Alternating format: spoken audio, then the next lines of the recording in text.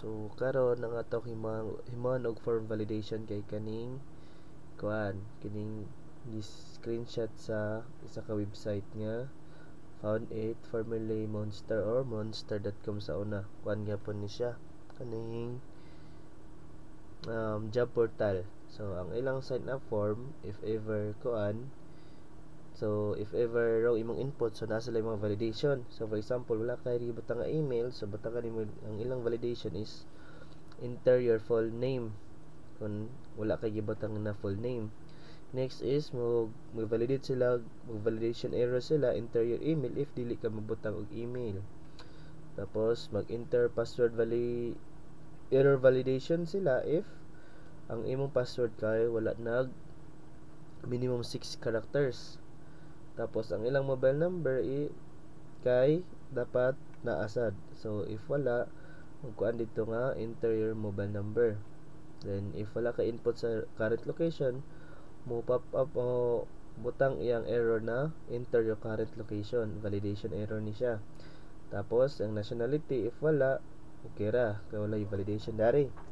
Sa total experience kay nagid siya experience dapat. So ang bahaton kay mabutang experience. If dili ka mabutang kasi mag validation error siya na select your work experience. Next is yung case skills ni mo validation niya. If di ka mabutang ang iyang output na validation error kay enter skills at least one skills required. Pero kani para ra ni sa mga kana so na yung mga jQuery so kani ato lang ni siyang i stay put into one input.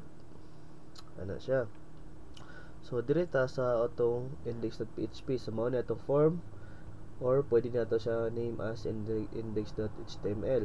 So sa atong index.html natay registration form, natay full name, natay email ID. So ang context ani sa full name kay natay input type. So diri ta mag-input sa atong name.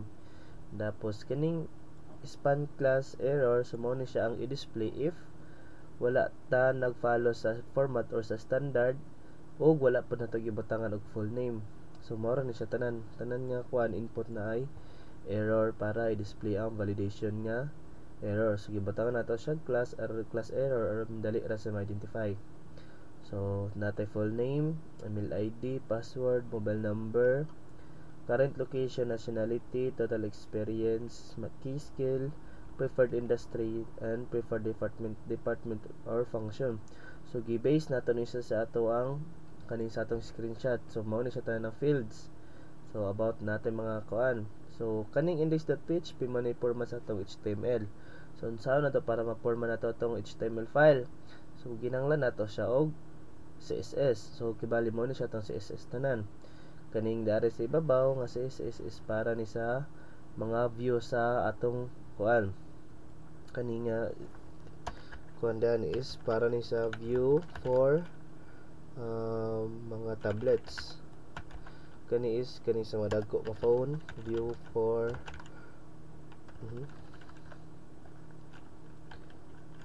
view for bigger phones basta na siya ito ni view for bigger phones ano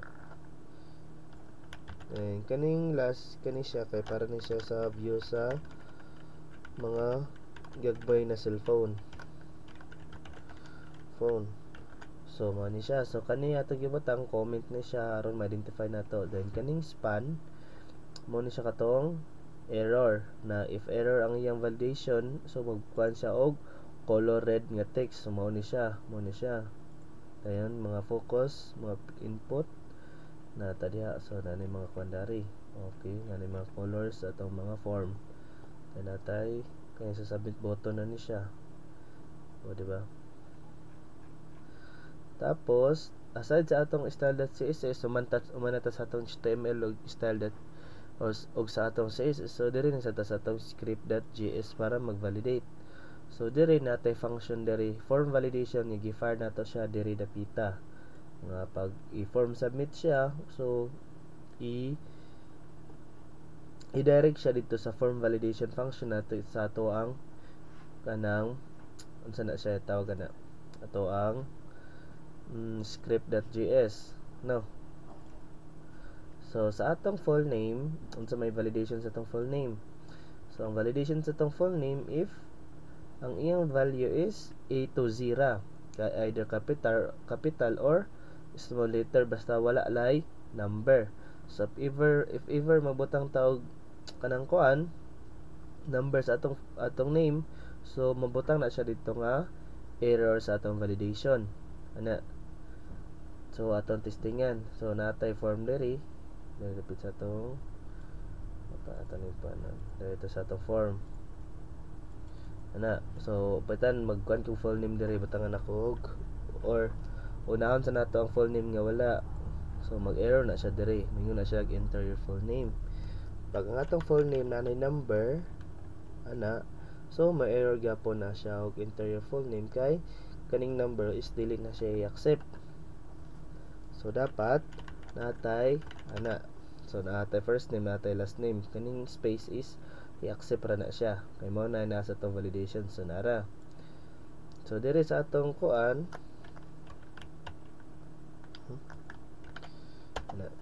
so natay full name na test. Ana so i-accept na siya. Next na atong validation is atong email. So atong email i dire ko na atong email dire no? Ikan sa form.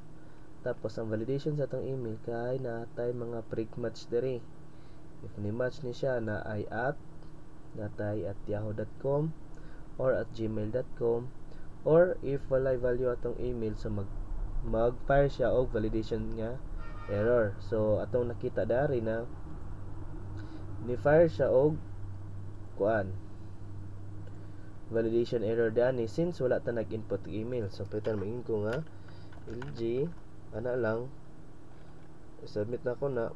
So mubutang gyapon siya og enter your email kay wala man tay at gmail.com so butangan nato ni siya og test at gmail.com so once na ato na siyang butangan og at gmail.com automatic na siya mo proceed so ang atong password kay giingon dito sa atong atong website niyo gibasihan kay minimum of 6 characters. So dire atong atong kwandani sa atong password validation is minimum of 6 ra siya. So less than 6 gani siya.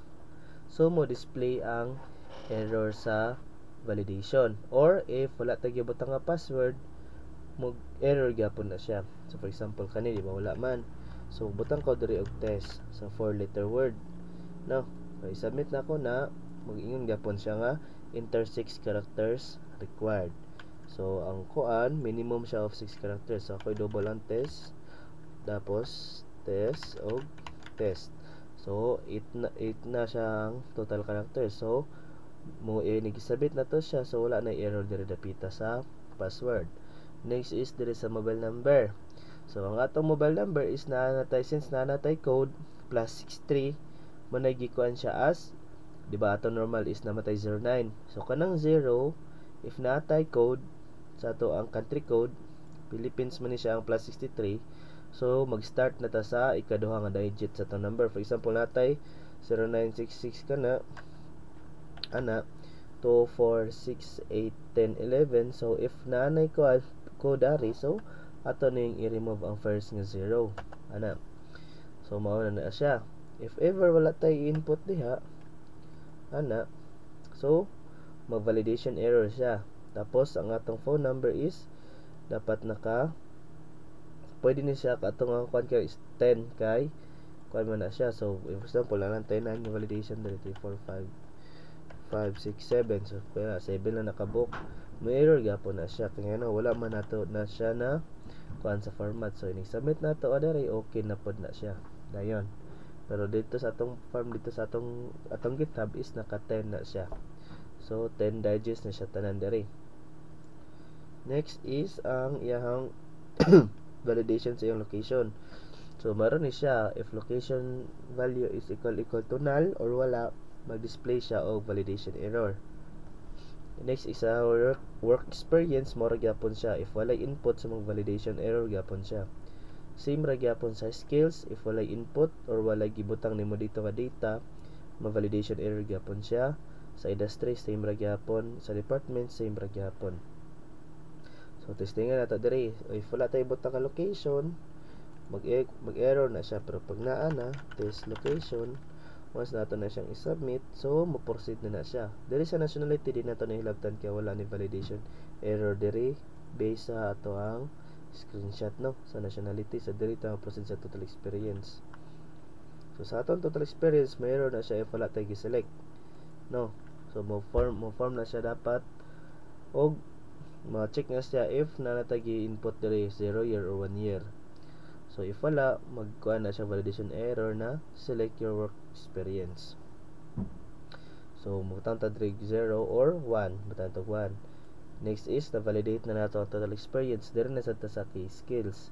Kung wala ta gibutang nga data diri, so mag-throw siya og validation error na enter skills at least one skill is required.